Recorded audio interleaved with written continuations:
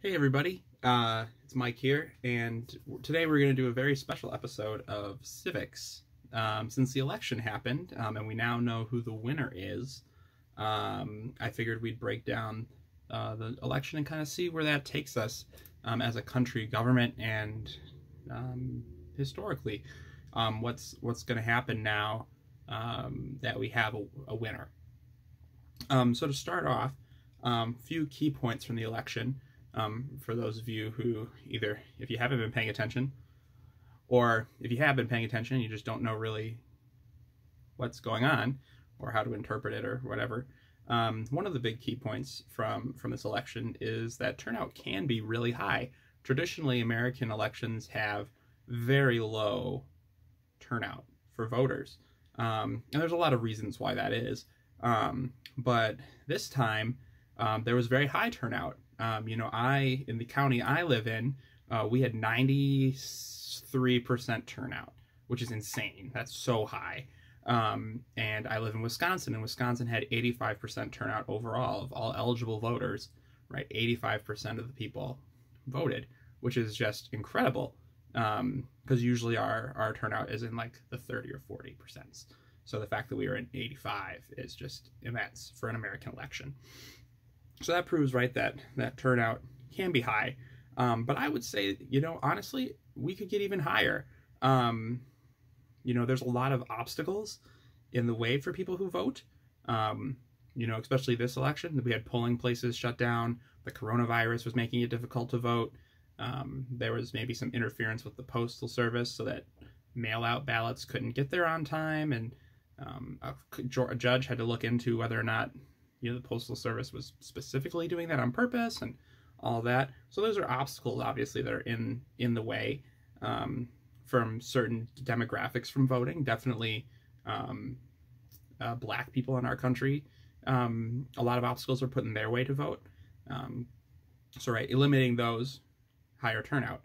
Um, also uh, we're one of the few modern democracies that don't have universal registration and uh, compulsory voting um, and I think both of those things are something that maybe we should look into as a, as a country. Um, when you turn 18, you're automatically registered to vote, right? Um, you know, American men have to be registered for the for the um, for the draft when they turn 18. Why can't we do the same thing for voting? Everybody gets registered automatically. You're in, um, and then compulsory voting. You just have to show up and do it. We could move it to a weekend. We could keep it as, on Tuesday, but we can make it a federal holiday you go, and if you don't like anything, then you can just fill it, leave it blank, just turn it in blank. At least you're voting. At least you're putting your word in there. You're choosing not to do anything. Um, um, and I think that's something that we should look into. Two, um, another big takeaway is Joe Biden may have won the election, but there's still 70 million people, right, who were voting um, to support him and his um, his agenda, Trumpism um, is what they've been calling it, right? Um, uh, strong border, military buildup, um, economic toughness, as he calls it, right? All those things, and, and even the the racism and the the sexism and all that is all kind of bound up in Trumpism. Um, and there's a large part of this country that still supports that. So um, moving forward, seeing how that plays out with that large group of people in our country who um, who still supports that that agenda. Um, how do we change? How do how does Biden try to change their minds or tries to bridge that gap um, if he if he does try? Um, so that's that's going to be important to see what happens in the next uh, four years. Uh, also, right, we learned a lot about how young people vote. Young people voted a lot, um, and they were there's several words you could use to describe, right? They were, they voted liberally, they were very politically active, and, you know, so they were out there um, making phone calls, sending letters to people, um, getting other people to vote. Um, they're obviously involved in a way that other generations have not been. Um, so that's really good for, I guess, in the the, act, the activeness, a good for for the future um, the fact that they're willing to be so invested in the process. Um, and that maybe that, and hopefully that'll continue to happen throughout their lifetimes. That generation will continue to be incredibly politically active. And that would be a great thing. We want to make sure that we stay as politically active and involved as possible. That makes our democracy function better. Some other things to take away from, from all of this. Um, Mitch McConnell is still um, the Senate Majority Leader, um, for right now at least. Um, it all is going to come down to these elections in Georgia because Georgia has a different system for selecting their senators than the rest of the states. Um, they have a very large election with lots of candidates, and then the top group, there's like a top two for each seat, um, has to run off against each other. So those two elections are going to determine who has control of the Senate. Um, and so that's going to have a big impact on what Biden is able to do with his agenda as president, right? Um, the Democrats control the House still, um, but if they don't control the Senate, it's going to be really difficult for Biden to get his agenda through Congress to his desk so he can sign it into law. So, um, watching those elections over the next couple weeks is going to be really important to see um, the shape of um, the way the government's going to work out, and then also just how much um, how much is Joe Biden going to have to work with Republicans get things passed. Um, if he if they end up getting the 51 um, in the Senate, um, he's not going to have to really work with Mitch. He can just they can the Democrats can push things through without um, without having to deal with him, um, and his power will be greatly diminished. So that's something to look into as well. Next up, big shout out to Stacey Abrams. She, um, if you might remember back a couple years ago, she ran for the governor to be the governor of Georgia. She lost to Brian Kemps, and there was some fishy business with that election. He was the Secretary of State for Georgia, so he was the one in charge of the election, but he was also running in it.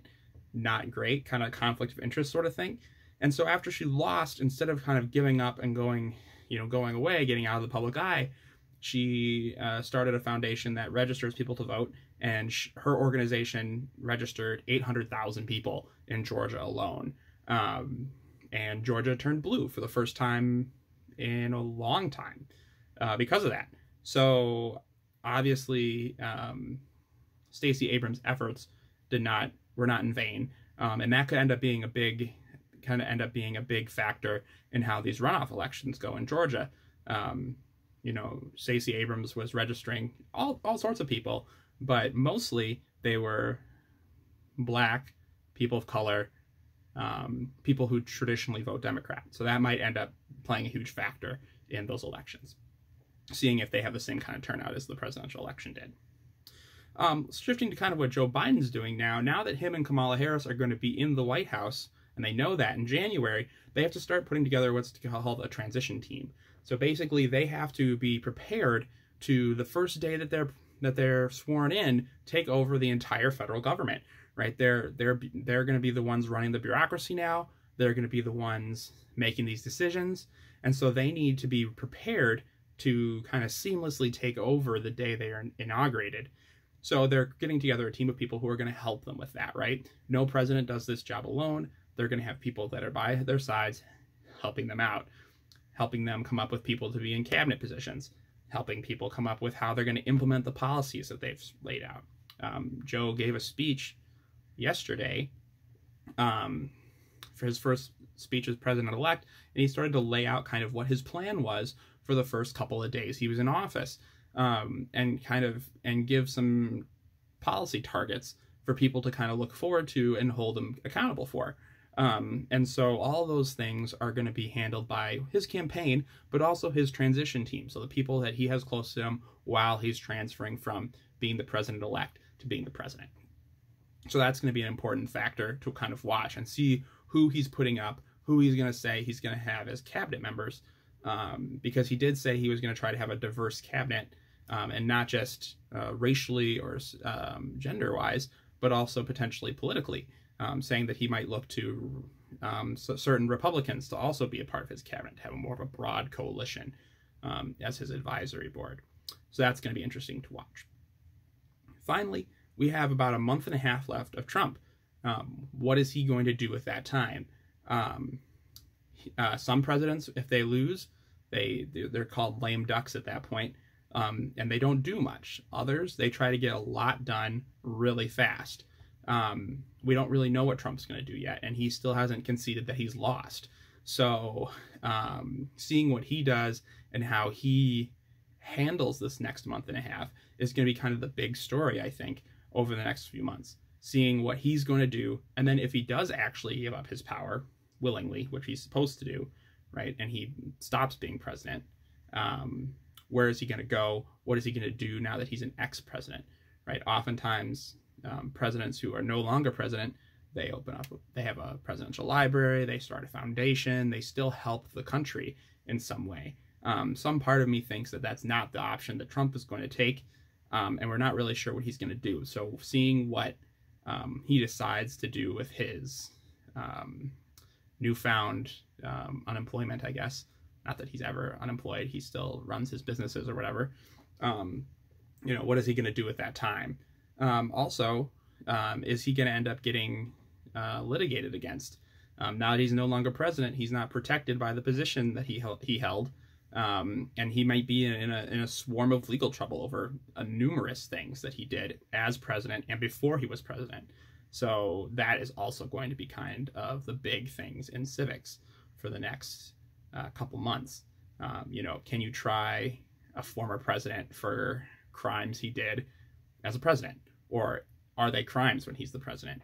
Or is he specifically responsible? All these constitutional questions that we now have to kind of look into and see um, what's happening. And so, if the, when those things do happen, I do plan on talking about these in the series so you can kind of think about them and, and understand what's going on. Anyways, thanks for, for listening to my recap of the 2020 election. Um, the Democrats won. Um, Trump is no longer the president. And um, there's only going to be more civics coming, so get ready. It's happening. Woo. See you next time for some more civics. Uh, we'll get back to our Supreme Court cases we were talking about in the last couple of videos. Thank you so much for watching.